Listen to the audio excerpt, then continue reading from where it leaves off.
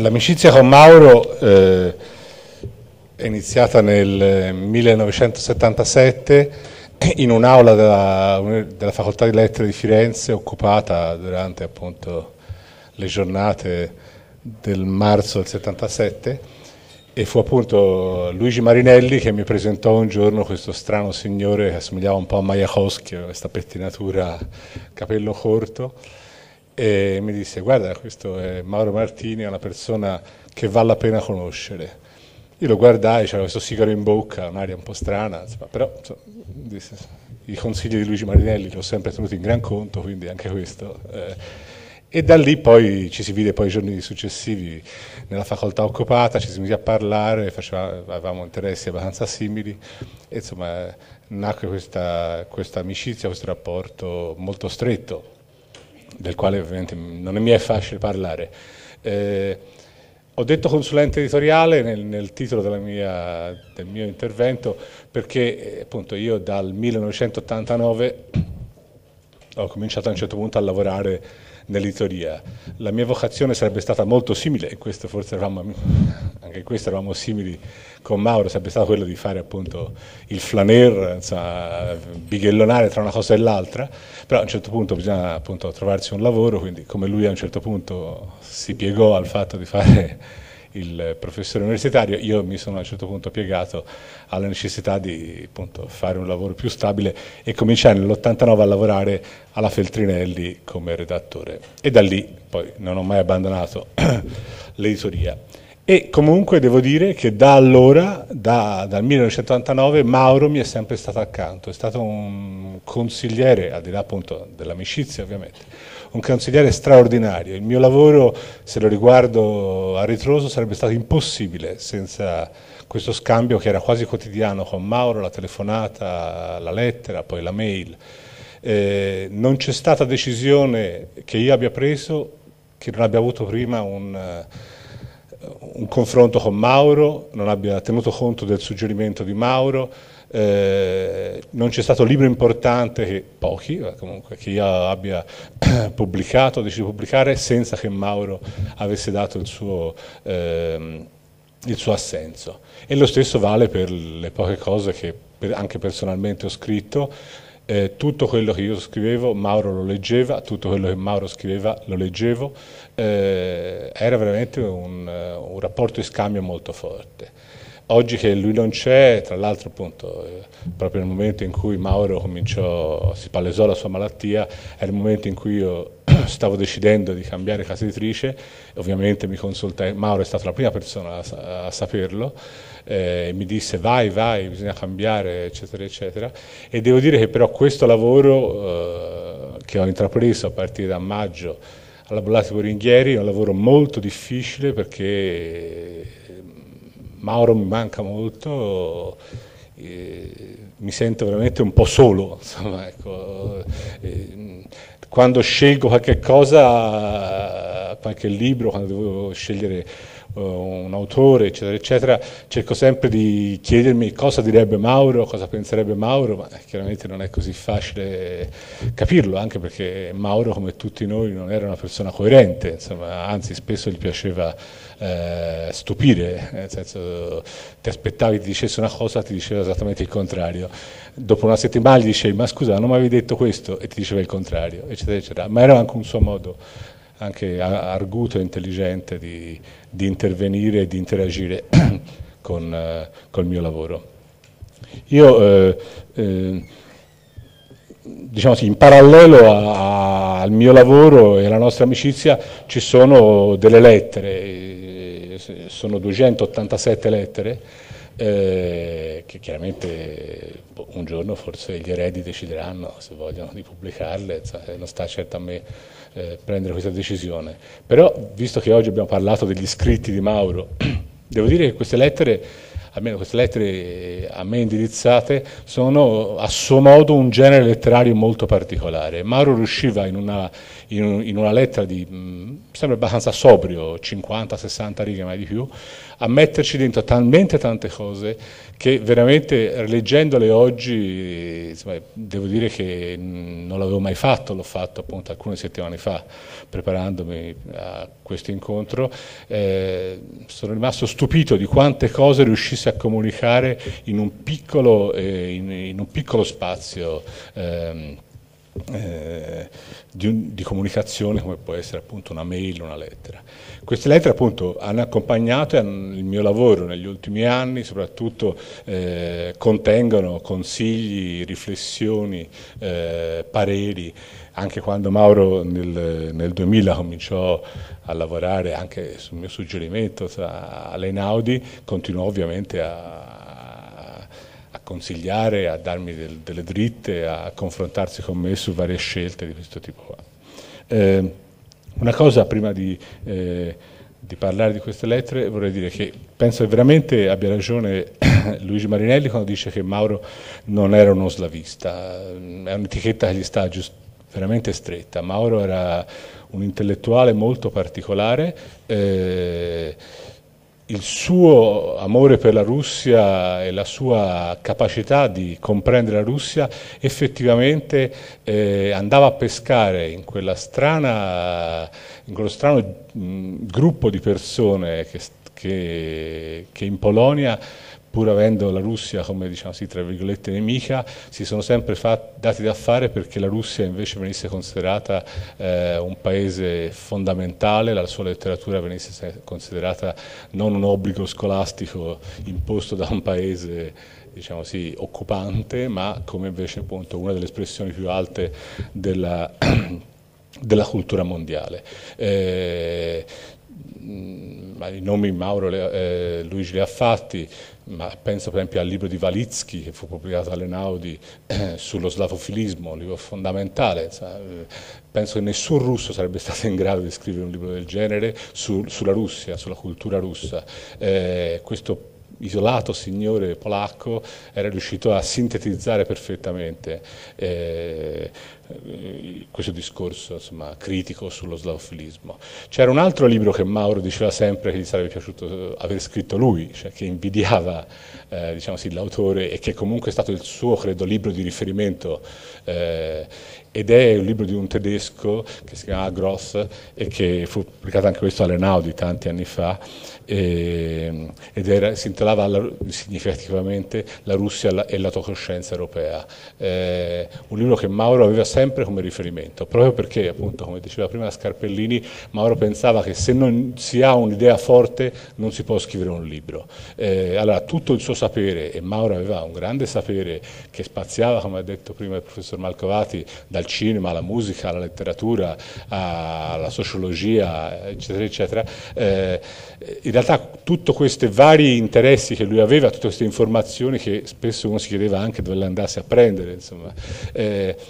spulciando giornali più improbabili, eccetera, eccetera, avevano un momento di sintesi proprio perché Mauro credeva fermamente che ci vogliano delle chiavi per leggere il mondo, cioè che è, è necessario avere eh, delle idee forti, ma non nel senso diciamo, sì, dei cappelli su, su, con i quali diciamo, sì, soffocare la realtà, ma appunto delle, delle tracce eh, attraverso le quali eh, poter eh, compiere un percorso di conoscenza. E la Russia e la tua coscienza europea lui, è, sta, è, stato per lui il libro diciamo sì, fondamentale che poi appunto anche per tutti i suoi amici, i nostri amici polacchi, appunto da Michnik a Herling, eccetera, era stato un, un libro rivelatore, insomma, cioè, no, questa idea appunto che comunque la Russia è un problema dell'Europa, insomma, e che l'Europa è un problema della Russia. Eh, io eh, ho fatto così, eh, ho scelto dalle, eh, da alcune sue lettere dei piccoli pezzetti che mi servono a far capire alcune cose. Eh, insomma, chiaramente sono piccole citazioni così, però eh, vedrete subito come appunto in uno stile anche diciamo così, dedicato a una comunicazione privata Mauro avesse veramente una grandissima eh, lucidità. Eh, c'è una lettera da cui vorrei partire ed è una lettera del 15 dicembre del 99. Mauro appunto stava per diventare eh, nell'autunno del 2000 consulente per le Naudi. Caro Francesco, rimediati un po' i problemi di salute, domata, rimediati un po' i problemi di salute, domata la pressione, la pressione è il problema di Mauro negli ultimi anni, anche se durante le vacanze di Natale dovrò stare rigorosamente a dieta e perdere un congruo numero di chili, torno a occuparmi di questioni di lavoro e quindi del Berdiaev, di cui avevamo parlato qualche settimana fa. Per la biografia non ci sono problemi, due punti, 29 siti su internet più qualche volume consentono di compilarne una assolutamente esauriente. Se il volume è ancora in progetto, è ancora in progetto, avrei bisogno di qualche informazione in più, eccetera, eccetera. Qui nacque appunto l'idea di, di, ripubblicare questo volumetto ehm, che era già in realtà già uscito in italiano eh, all'interno di una raccolta più grossa pubblicata eh, agli inizi degli anni 70 dalla Yahabuk, eh, che comprendeva vari, vari saggi, ecco, c'era anche questo saggio di Berdiaev eh, che lì era stato tradotto Gli spettri della rivoluzione russa. Eh, Mauro insistette molto affinché, nonostante anche eh, lo scrittore polacco Gustav Erling avesse usato, fosse rimasto molto affascinato da questa idea degli spettri, eh, Mauro insistette molto perché invece noi eh, traducessimo la parola russa, non mi ricordo, gli spiriti, perché gli sembrava molto, molto leggermente più neutro rispetto alla parola spettri, eh, sapesse meno di cadavere nell'armadio e, e comunque comunque lo, lo considerava questo, questo, piccolo libro, cioè questo piccolo libro è un saggio eletto al libro per ragioni editoriali, ma insomma, eh, scritto appunto quando la rivoluzione russa stava ancora diciamo così, bruciando, eh, eh, come una sorta di chiave per capire tutta la Russia. Cioè, eh, la Russia sta cambiando, c'è la rivoluzione, Berdiaev guarda a quelli che sono diciamo così, le ombre che, che, questa rivoluzione si porta con, porta con sé che non, e che non riuscirà a eliminare.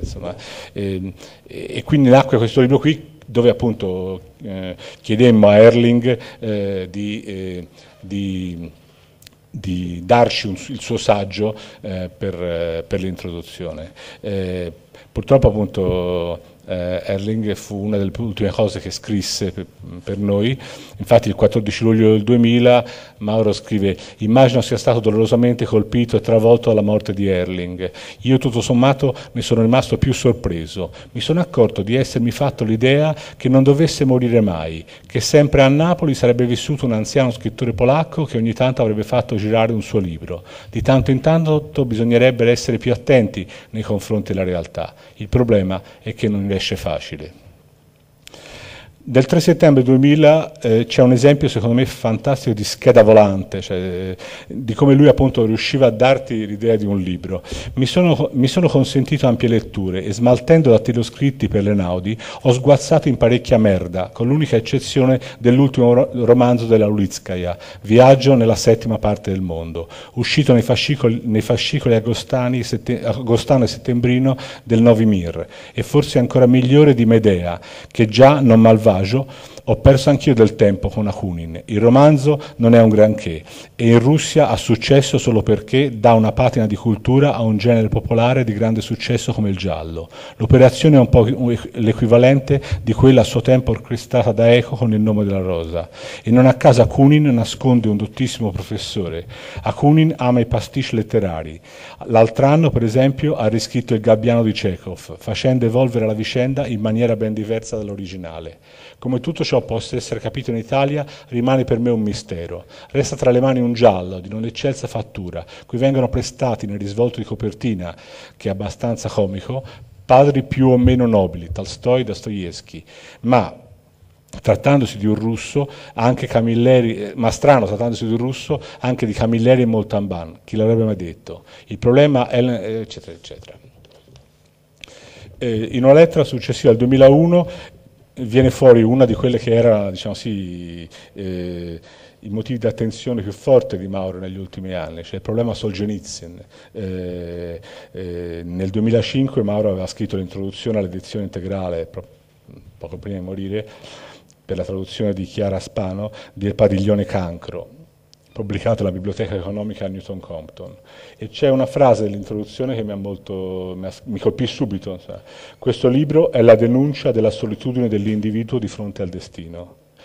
In, in, queste pagine ci si chiede se questo mondo non sia dominato dalla crudeltà gratuita. Una lettura di questo libro assolutamente fuori da, da letture tradizionali, insomma, questo è considerato in fondo un libro di svolta di Solzhenitsyn. No? Ecco, però Mauro riusciva a tirare fuori questo aspetto diciamo, molto anche umano, molto, cioè è un grande romanzo russo, la tesi della sua introduzione, breve peraltro, sì, ma molto convincente. Padiglione Cancro è un grande romanzo russo. Dice, il problema Solzhenitsyn è abbastanza complesso, non se ne parla in Italia e non se ne parla più di tanto nemmeno in Russia, anche se il vegliardo è ben presente nel pantheon letterario e si dà da fare per animare una cordata di potere. Questo silenzio però è fittizio, preludio a un dibattito che si dovrà inevitabilmente riaprire, non fosse altro perché Alexandr Isaievich ehm, non è, non è, destinata a campare ancora molto a lungo e la sua morte dovrà riaprire il dibattito su, su, tutta la seconda metà del Novecento russo. Una tua guida, perché di questo si parlava, di fare una sorta di guida a Solzhenitsyn, potrebbe essere pronta a disposizione quando tale dibattito inevitabilmente esploderà e coinvolgerà la storia russa, letteraria e politica e l'intelligenza europea occidentale di derivazione comunista, che ha reagito in molti modi all'opera di Solzhenitsyn. Ci vorrebbe un volumetto che, affrancato da simpatie e antipatie per l'autore, cominciasse a definire il suo ruolo. Comunque vedi un po' tu. Il 25 gennaio del 2001, tornando su questo argomento, dice da un rapido riscontro su internet scopro che in America è appena uscita una raccolta di saggi su Solzhenitsyn a cura di Harold Bloom e, per, e che per il mese prossimo è prevista l'uscita di una nuova biografia di Joseph, di Pierce, due libri con il comune intento di, di, rivisitare lo scrittore. Mi sembra ne esca confermata l'opportunità di una guida che strappi il buon vecchio Alexander Zajevich dai luoghi comuni in cui egli stesso si è condannato. Mauro era una persona scettica e la cosa interessante è che spesso sue, i, suoi pareri, i, suoi pareri, letterari erano sempre venati da una sorta di dire, boh, ma però sarà il caso di farlo. Insomma e ci hanno ritrovato in una lettera del 9 dicembre 2001, mi permetto però di nutrire qualche dubbio sull'interesse dei ragazzini per i libri. Vedo i miei studenti qui all'università e mi rendo sempre più conto che per loro i libri sono semplici attrezzi per un mestiere che temporaneamente sono chiamati a fare, attrezzi di cui liberarsi immediatamente una volta superato l'esame. Sono rimasto impressionato incontrando un ragazzo che dopo aver dato teoretica su Dostoevsky insisteva col direttore della biblioteca per omaggiare l'istituzione produzione della sua copia dei fratelli Karamazov, sostenendo che non gli serviva più. eh, 20, eh, poi beh, nel 2002 uscì questo libro Oltre il disgelo per la Bruno Mondadori che ebbe un notevole successo e che poi è la prova generale del libro appunto poi dell'Enaudi. Il 22 ottobre del 2002 scrive in lingua italiana non esiste disponibile in libreria un qualcosa di decente su Chekhov. Me ne sono accorto preparando questo tascabile di teatro per Enaudi e non dico nemmeno qualcosa di aggiornato ai nuovi studi che pur prolificano in America e in Russia, ma proprio qualcosa di semplicemente intellegibile per un lettore curioso e normale. Pensaci un po' su. Il suo rapporto con Enaudi. Il 5 febbraio 2003 scrive L'Enaudi è un po' complicata stanno perdendo la bussola e soprattutto stanno perdendo ancor più la loro già scarsa capacità di reazione. Ogni proposta viene vagliata per mesi e naturalmente alla fine perde di appeal, anche per il promotore, dopodiché fanno anche delle sciocchezze. Sul romanzo, questo è interessante, eh, perché la Bruno Mondadori non pubblicava romanzi noi discutevamo sul fatto se il romanzo ancora, insomma, un, avesse ancora un senso dal punto di vista dell'editoria. E il 23 aprile del 2003 scrive «Io però non sono convinto che veramente il romanzo e la narrativa in genere abbiano perso l'efficacia, semplicemente si è perso il codice di lettura della prosa narrativa, non se ne capisce più la tecnica, ne si colgono inconsapevolmente i significati dei procedimenti. Oggi, se un lettore incontra una lunga descrizione, non coglie lo stato di sospensione che essa suggerisce, ma brutalmente salta le pagine, smarrende il gusto della costruzione dei sentimenti e della scena. D'altro canto, i nuovi narratori, in questo senso tutti pulp, inseguono, senza speranza di successo, la tecnica visiva e si condannano a un ineluttabile secondo piano Peccato, soprattutto in un periodo in cui la lettura è patrimonio di pochi e non è un bene condiviso. In fin dei conti, in tutto il mondo esistono giovanotti e ragazze di belle speranze che fanno la fila per farsi rinchiudere in una casa, quella del Grande Fratello, in cui per quattro mesi è programmaticamente esclusa la lettura. La narrativa potrebbe tornare a riaffermare i suoi codici, che sono peculiari, ma in realtà sono gli scrittori a essere i primi estranei. E questo era interessante. Renaudi eh, nel novembre del 2003 organizzò alla Fondazione Cini a Venezia un convegno sulla letteratura. Era uscito il primo volume, del, eh, cinque volumi, della, della, del, di questa insomma, sorta di opera sul romanzo curata da, da Moretti e, e fu, appunto, fu organizzata questa sorta di convegno sulla letteratura, in particolare sul romanzo. Mauro andò e questa era la sua relazione.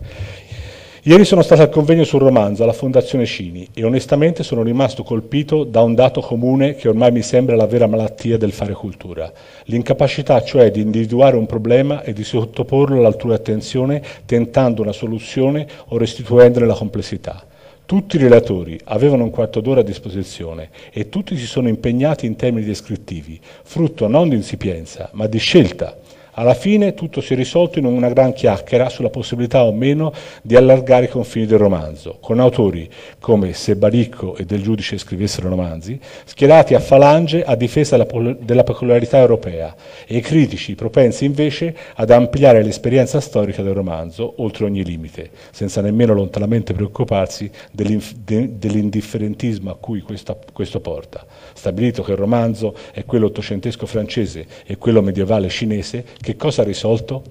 Thomas Pavel, la vera delusione, si è inventato la formuletta. C'è il romanzo là dove esiste un personaggio individuo che diventa il motore dell'azione. Ho sempre più l'impressione che il dibattito culturale non provi più alcun gusto a suscitare problemi, ma al contrario si dia riccamente da fare per confezionare dei kit di intervento adeguati ad ogni occasione. In fin dei conti Rinaldi è più ortodossa oggi in difesa del politicamente corretto di quanto non lo fosse ai tempi dell'egemonia Marx azionista. I nostri amici soffrono esattamente di questo, di una certa pavidità nel non voler mai varcare i confini del buon senso di una indistinta sinistra. Nel 2004 invece in molte sue lettere torna il problema di Majakowski. Eh, l'8 gennaio scrive deci eh, devo decidermi a fare un tascabile dei principali poemi sovietici di Mayakovsky per le Naudi, vecchie traduzioni un po' rivedute. Di conseguenza la novità dovrebbe essere affidata all'introduzione, nella quale vorrei riabilitare il buon Vladimir, che esce da un quindicennio critico piuttosto problematico, se non lo si vuole ridurre a un puro e semplice poeta d'amore. Personalmente continuo a trovarlo una delle voci più potenti del Novecento. Il dubbio è se io sia in grado di spiegarne adeguatamente le ragioni. E il 18 febbraio 2004 scriveva eh, ripiego non appena posso su Majakowski, ognuno può pensarla come gli pare, ma il buon Vladimir resta una delle voci più possenti dell'ultimo secolo e, e, passa di poesia e, cont eh, e continuare a leggere ideologicamente è solo un segno di malattia. Eh, uno degli ultimi progetti che avevamo insieme era quello di di fare, di estrapolare dai fratelli Karamazov eh, il monologo del grande inquisitore. Mauro pensava che appunto, il fatto che questo straordinario pezzo di letteratura, di filosofia, eh, stesse incastronato in quel grandissimo romanzo, eh, ci avesse impedito fino ad oggi di comprenderlo fino in fondo. E quindi proponeva di tirarlo fuori per eh, eh, per insomma, farlo capire appieno, per suscitare un dibattito su questo, su questo testo. Del resto eh, recentemente avete visto che c'è stato anche in Francia eh, a teatro, è stato appunto rappresentato come un testo a sé, e l'ipotesi, ne avevamo parlato, era quella appunto di fare una nuova traduzione eh, del Grande Inquisitore e Adriano Sofri, che, amico, che è amico di tutte e due, aveva, si era si era eh, detto disposto a scrivere l'introduzione. Eh,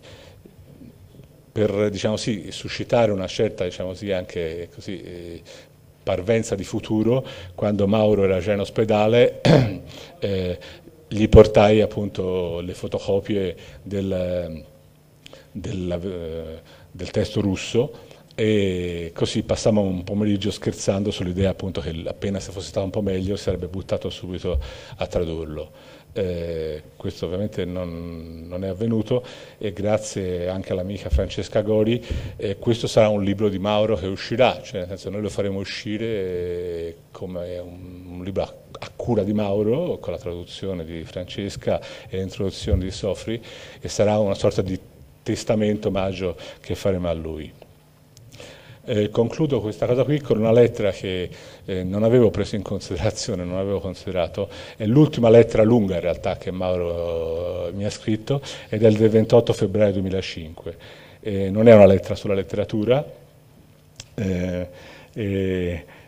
una lettera di cui mi, mm, mi, mm, mi prendo la responsabilità di censurare alcune cose Eh, DM in realtà ho saputo stamattina dai necrologi sui giornali e devo dire che io in realtà non sono mai riuscito a rendermelo eccessivamente simpatico. Qui eh, salto. Eh, eh, e poi perché io invece gli avevo detto che ero molto dispiaciuto perché questa persona mi stava molto simpatica.